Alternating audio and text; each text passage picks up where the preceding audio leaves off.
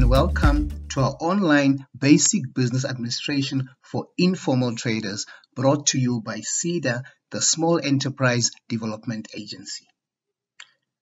Business administration is a very important business function that allows businesses to keep track and administer their daily operations. This also helps with a very important function known as bookkeeping, which will be later dealt with in Module 2.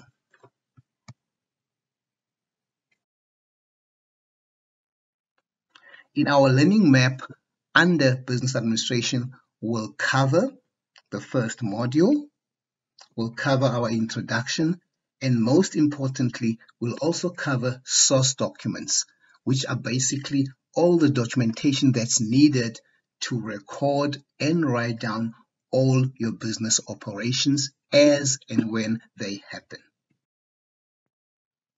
Under our introduction, we'll cover what is business administration. Simply put, Business administration is a systematic recording or administration of all the financial transactions of a business. Bookkeeping ensures that the transactions are recorded as and when they happen in terms of all your cash receipts, of all your cash payments, also including your debtors receipts and your debtors payments, which is mainly all the payments and receipts that are made in credit. Source documents. In any business, transactions should be recorded in a systematic manner as and when they happen. This recording process should include the development of the following. Under your source documents, you should have your delivery notes, which are basically the notes that are issued after each delivery is made. You should also have your invoices which are issued when sales are made, whether on cash or credit. A procedure on how and when to use the source document and the safekeeping of the document after the transaction has been recorded is very important. A business must use printed or written source documents to ensure that the following information is clearly printed. A business name should be clearly visible, including the registration number where applicable. A business should have its contact details and the address where applicable, and also state the product or service that the business delivers. Very importantly, the selling price of the product or service should be clearly noted on the document. Where VAT is charged or applicable, a VAT amount should also be included. Last but not least, the date of when and when the transactions actually take place. The following are the generic or commonly used document used in a business. We have a delivery note. If goods are sold on account or credit and delivered to the client, the business issues a delivery note which should be signed by the client or his or her representative.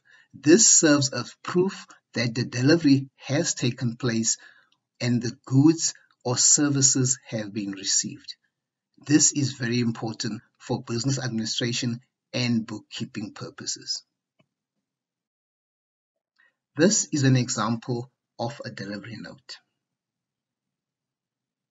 Madiba Mega Market, PO Box 1555. You'll see the address is clearly noted. The packaging is noted and the quantities are noted. And the type of products which are served are also noted. And importantly, if the company is VAT registered, the VAT amount should be clearly printed and the net price clearly shown on the note. If the customer returns goods which were delivered to a customer by the business or enterprise, a credit note is issued to reduce the customer's debt where purchases were done on credit and where the purchases were done on cash, a money is then returned back to the customer. This is an example of a credit note. You'll see again the business's name is clearly printed, the address is clearly printed. Also, the amount is clearly printed, the unit price number, including the tax amount.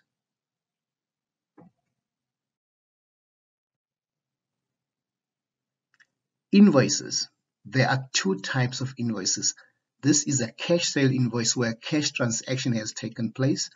Also, there's a credit sale invoice where goods or services were sold on account or credit. A cash sale invoice where goods are sold by the business can be handwritten on a notebook or printed using a computer printer. The copy or duplicate in the cash sales invoice book is used to record the transaction in the cash receipt book. This basically means that in order to generate cash invoices, a business should have a receipt book where every cash sale is noted down or a computer where cash sale invoices can be printed when and when they happen. Depending on the type of business and bookkeeping system, the cash sale invoice can be the same document as the normal invoice used for credit transactions. This is an example of a cash sale invoice. As we can see, again, the number of the business or enterprise is clearly printed, in this case in the left-hand corner. The address is printed. There's also a VAT registration number clearly printed and contact details. Again, description and amount of the goods procured, including the tax and therefore showing the total price VAT inclusive. A credit sale invoice. If the business sells good on credit or account to a customer, an invoice is issued as proof of the transaction. This is loosely referred to as the credit sale invoice. The client, his or her authorized representative must sign the invoice as proof that the goods were received. This is an example of a credit sale invoice. Again, the business name is clearly printed. We have the address, we have the VAT and the registration number, and the description of all the products, quantities, packaging, including the VAT amount, are clearly printed. There is also space for signature and initials and most importantly the date of when the sale invoice has taken place. If money is received from a client for payment of an account, a receipt is issued of the transaction. This basically means that if an account has been paid the business has to reduce the debt of the account holder. A receipt is issued of the proof of the payment of that debt. Same as the credit and cash invoice, the receipt should have the business's address, registration number, contact details, and also the amount by which the account has been reduced. This basically means that when the account is paid, there should be a receipt for that payment. As you can clearly see, there's a space for signature, initials, and the date. Deposit slip. If a business person deposits money into a business account, a bank deposit slip must be completed by the bank. This is the same as if a customer pays the business on account, then the business should issue the customer a receipt to show that the account has been paid. The deposit slip, which is furnished by the bank free of charge, must be completed in duplicate. This basically means that the bank will keep the original and then the customer who is depositing the money or the business will keep the other copy as proof. The bank retains the original copy, which is scanned and signed by the cashier or a bank representative, and thus serves as proof to record the transaction. As we can see from all the source documents that we are dealing with, these only form to enhance your business administration function.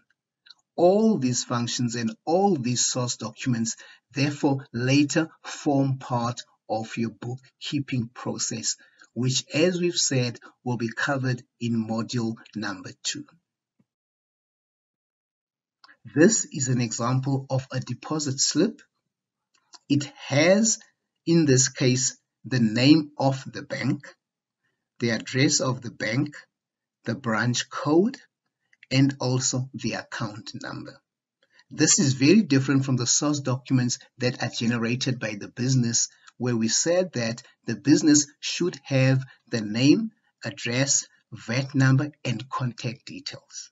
Please note that in the case of a bank, the only requirements are the bank's name, its branch code, the account number, and the name of the client, which in this case is the business. This will also specify all the amounts in terms of notes and coins which are deposited, which will then be tabulated or ended and will reflect the total cash deposit. Supplier's invoice. Depending on whether or not the supplier is registered for VAT, the supplier's invoice also contains the minimum information. This information will have the supplier's name, supplier's contact, supplier's registration number, and VAT where applicable. Clearly, when goods are supplied, the specific goods, packaging, quantities, unit price, VAT inclusive, and the total amount will also be displayed. Again, please note there will be space for the signature, initials, and surname of the representative, and importantly, the date on when the goods or services were supplied. Thank you very much. For any further inquiries, do not hesitate to contact our SEDA website at www.seda.org.za. Thank you.